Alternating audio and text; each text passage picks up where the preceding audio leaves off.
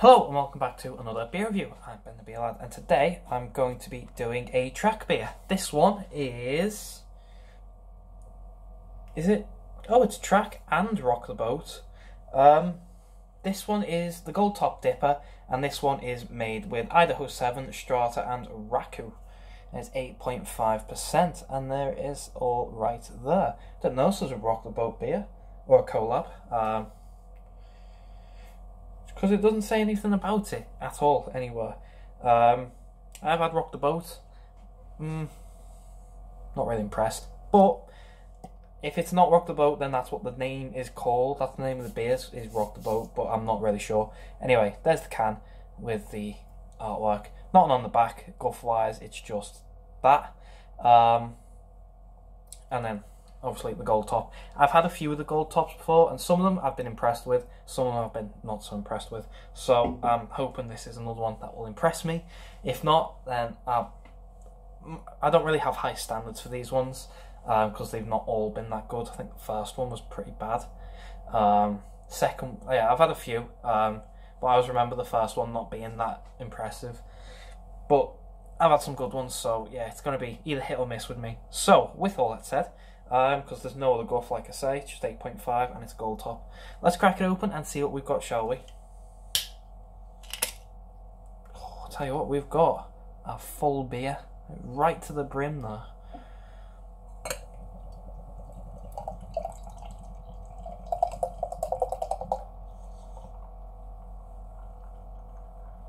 Right, so I'll pull the rest in a second, but there is the beer uh, we've got ourselves a nice pineapple juice, tropical juice looking beer with an ivory, um, yeah, ivory compact head. There you go. Looks quite nice. Let's get a smell, shall we, and see what we get.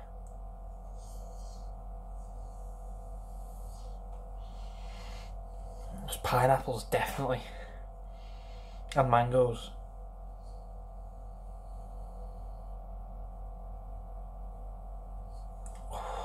Really, really fruity, really exotic.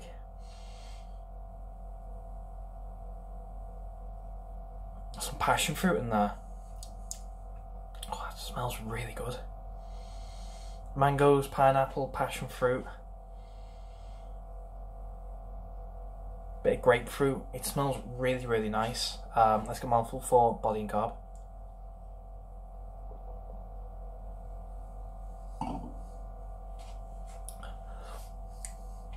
Carbs really light.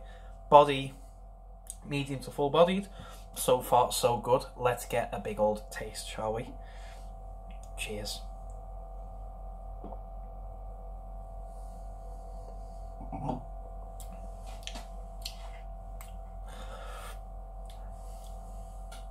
It's bitter. Wasn't expecting that. It's, it's quite bitter. Um, let's say 8.5. 8.5, yeah, well hidden. Um, nothing really stands out about the 8.5. That flavour is really bitter. Um, quite orangey as well. There's no orange in the smell, but it's quite orangey flavour wise. Um, there's a hint of mango, hint of pineapple. Not much really in the passion fruit or grapefruit side of things. It's got this something about it. I can't figure out what it is.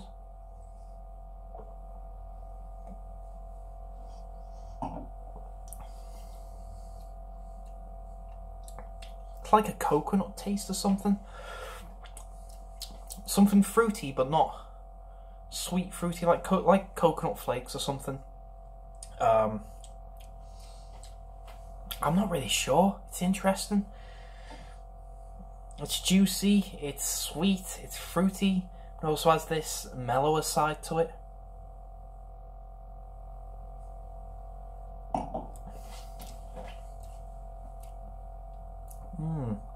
Not entirely sure. The smell is completely different from the flavour. Um, really different from the flavour.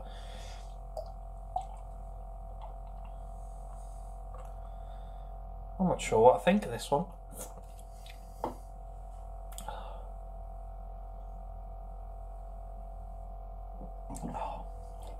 Any indication on the can? Nothing. No, no indication of flavours at all in the can. Yeah, it's got this really ripe, fruity, fresh taste to it um, from oranges, from the hint of uh, mangoes, you know, passion fruit and all that. Doesn't really have that citrus from the grapefruit or pineapple, none that's coming through, even though that was on the smell. Pardon me. It's bitter. It has this really pithy bitterness to it. Um, it's got this coconutty taste as well. I'm not entirely sure what I think about this one. It's very, very. I don't know. I don't know what to call it. Intriguing is the word I'll use. Just because it is. It's it's different, and I like different beers if they're pulled off well. Um, I wouldn't say this one's entirely a well done beer. Um, I've had better gold tops before, but it's not the worst one. It's not the worst one. Um, yeah, it's just an interesting one. Very, very different, very strange. Not exactly what I expected. Um, don't know if it is a collab with Rock the Boat or not. They don't. Rock the Boat don't have a logo. it is just Rock the Boat. So if it is a collab, then yeah, there you go. If it's not, then that's the name of the beer. I'm not entirely sure. I'll look it up after this video, even though I probably shouldn't. Should have done it beforehand. Um, but yeah, not really sure what I think about this one. Flavour wise, is nice. Um, could be better. Could be a lot worse. I mean, yeah, could be a lot worse. 8.5, very well hidden. Um, I think the bitterness in it is the only thing that reminds me that it being a bit stronger, a bit on the double IPA side. I'd say without that bitterness, I'd probably drink this right up. It's a bit dangerous, really, um, but sometimes dangerous beer is nice. Um, so, I'm going to go away and enjoy this because it's good. It needs more. Um, I don't know what it is lately. I seem to have been a bit strict on the beers.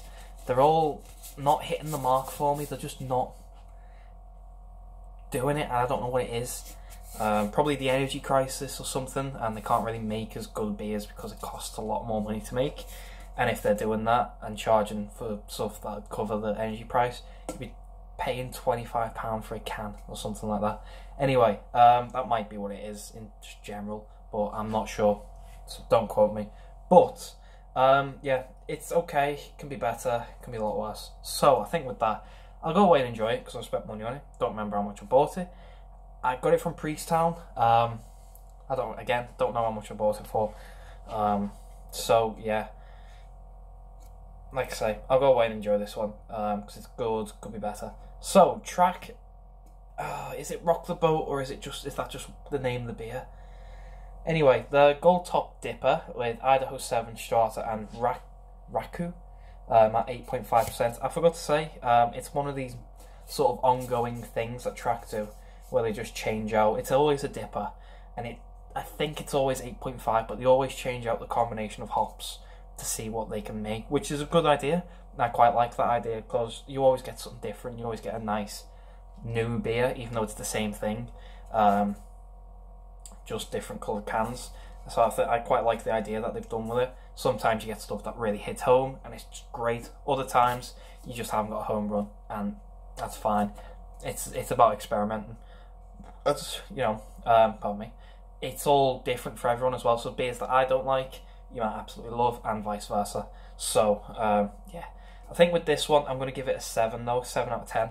I can see the appeal. I could see where it was going. It just didn't get it for me. Um, so yeah, it's getting a seven out of ten. So if you have had this before, please let me know. Let me know what you think. If you like it, if you don't, if you've not had it, I'll leave a link to Track's website down below. Um, if I find out if it's a collab or not, I'll also leave a link to Rock the Boat. If it's not, it'll just be Track, and that's how you'll find out. Also off the title. Um, if you like the video, though, thumbs up, thumbs down, all that usual stuff. If you want to subscribe, consider doing so, because the show must go on, etc., etc., so on and so forth. And I'll see you later.